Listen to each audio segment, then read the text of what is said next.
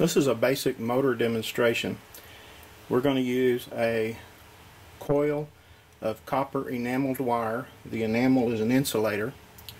We have uh, two wires that we're going to use to suspend the coil.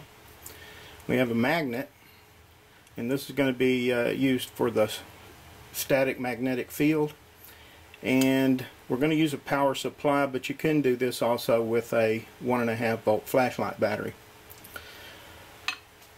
To construct the coil, I used 24 or 22 gauge enameled wire and this is just a number of turns that were actually wrapped around a D-cell flashlight battery to form the core. The battery was removed, then the ends were wrapped around the coil at each end. This is just to form two axles. I prepared the copper coil by removing the insulation all the way around on one side of this where the axle is going to be. The other side was prepared by removing the insulation from just one side. So one side has bare copper and the other side has insulation.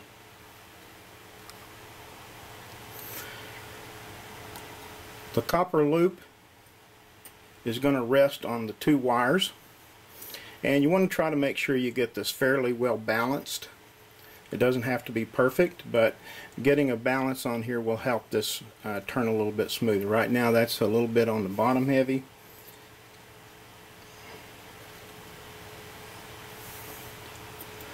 And where you get this where you want it, then a couple of drops of super glue on the coils will help keep it there while you're uh, experimenting.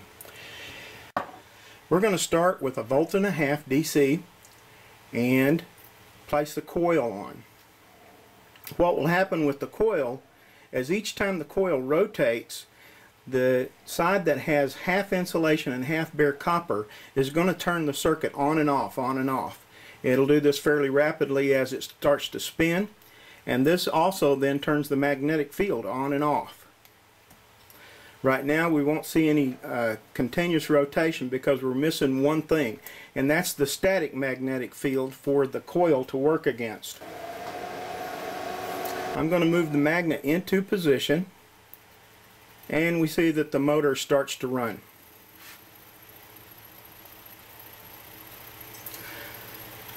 This coil will continue to operate as long as we have the magnetic field present by keeping the power turned on or as long as the magnet isn't present. If we remove the magnet the rotations will eventually stop.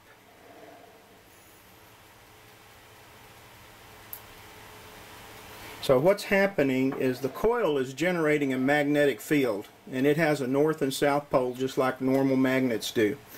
And when we put this magnet in place, of course, the opposites are going to repel each other, like are going to attract. So as we move through here, this is very rapidly turning on and off as this axle rotates in this holder. And you can see we're getting a very, very fast rotation. One of the things that affects the power in the motor is how close the magnet is to the coil. As the magnet is moved away, eventually there won't be enough power in the motor to overcome the mass of the coil itself and the rotations will stop. So as I move this away, we're going to see less and less power going into the motor. And it won't have enough power to keep rotation, so it's going to stop.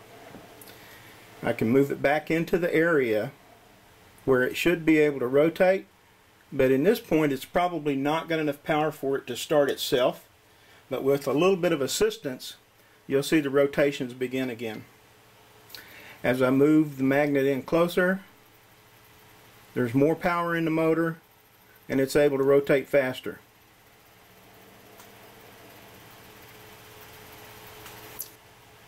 There's another factor we can use to change the power of the motor and that's the voltage being applied. As the voltage across the coil increases, then the power of the magnetism in the coil also increases. I've increased the voltage to 6 volts. It's still only generating a magnetic field when the uninsulated side of this axle is making contact with the metal support. As I move the magnet in closer, we'll see that the rotations will start increasing.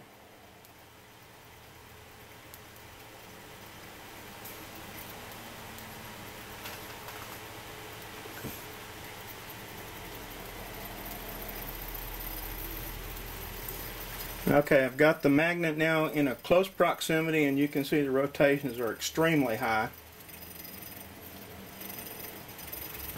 One of the things that we're starting to see now is that the axle is starting to jump out of the holder. When it's not able to make connection, it actually is slowing down slightly. So this is basically how the, the electric motors work that use a static magnet and a coil winding, a copper coil winding to operate.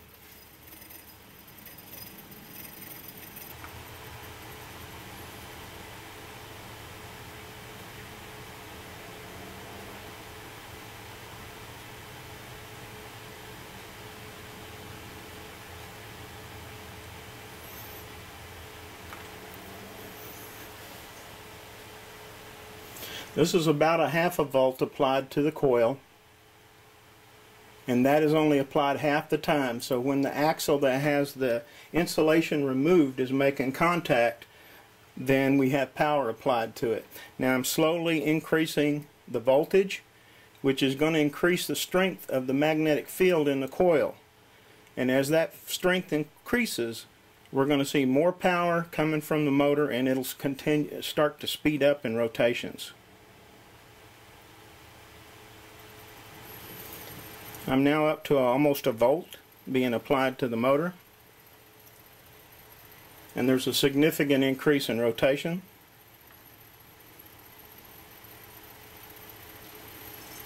Now we're at about a volt and a half.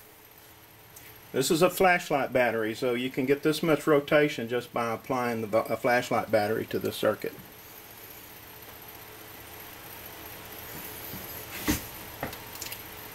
As I move the magnet away from the coil we'll start losing the rotations.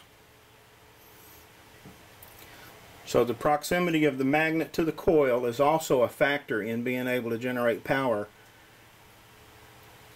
from the motor.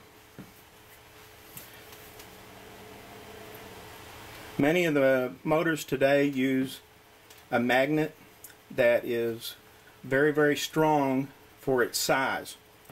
And the reason that they do that is they can make the motor smaller but still have a lot of power in it. So strong magnets is going to be equal to having a lot of power in your motor.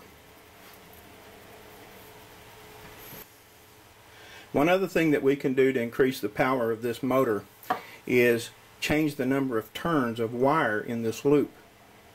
For each turn of wire we get an additional increase in magnetic field as we increase the voltage across this magnetic field. If we take loop turns off, the magnetic field will get weaker. So if I wanted to increase the power of this particular motor, but I wanted to keep a constant voltage, let's say one and a half volts, and I have a fixed value of a magnet, this particular magnet, but I want to increase the power of it, then I could increase the number of turns in this particular coil and that will increase the magnetic field. This is the same thing as taking a wire and wrapping it around a nail to create an electromagnet. The more turns of wire you can put around the nail, the stronger the magnet is going to be.